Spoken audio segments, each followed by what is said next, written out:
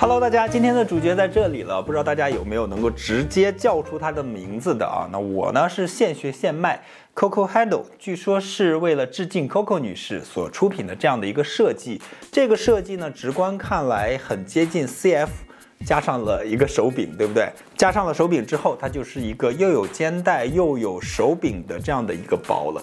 这是一个大包还是一个小包呢？是小包的大尺寸，对不对？呃，往往我们会觉得像呃凯利三二、凯利三五或者铂金三零、铂金三五这样的包算作大包，我们会把这种带着拉链的、可以斜挎、可以单肩的包包啊列为小包的这种行列。但是呢，小包的大尺寸，我会觉得如果是对容量有绝对需求的朋友们，真的可以考虑这款包。它的尺寸跟大家聊一下啊，如果是官方尺寸的话，我没有找到，但是找到了一些参考，是三十乘十二乘二十一，也就是三十厘米的宽度，十二厘米的厚度以及二十一厘米的高度。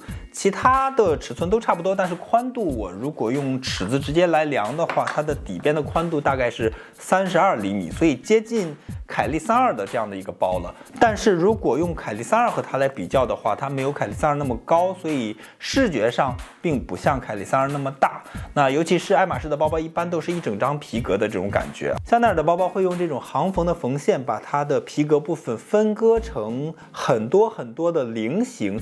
这种分割呢？也会分散我们视觉的注意力，然后会觉得它不是很大的一个包。CF 也好，或者这个 Coco Handle 也好，它并不是有龙骨支撑的，它更多的是用皮革自身的这种韧性、厚度以及里面的这些辅料啊，里面会有呃直观摸起来像海绵一样的东西去给它做衬里衬料。其实不光是它的皮革带有一定的厚度，它里面的布料内里所采用的布料也会非常有质感，有一定的厚度啊。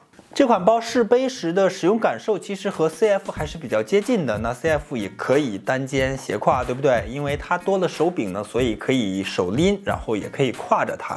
另外呢，因为它的包身会略长一些，所以它的肩带其实没有 CF 那么长。这样的肩带长度也是比较适宜的啊，不管是单肩也好，还是斜挎也好，都不会觉得很拖沓、很累赘。这只包的附件呢，只有一个防尘袋了，它的卡片没有了，然后成色大概是。九新左右，那我会估计的比较保守一些。整体来看，并没有非常明显的磨损或者断线的情况，只是在手柄的这个位置有大概。零点五厘米左右的一个破损，那这种破损也并没有继续扩大的趋势，因为它的肩带会比较窄一些，所以如果男生使用的话，还是需要一些勇气的。但是呢，实际在试背过程中，我会觉得没有什么违和感。那这就是今天的上新了，我不知道大家还有有没有其他可以补充的关于他的一些资料。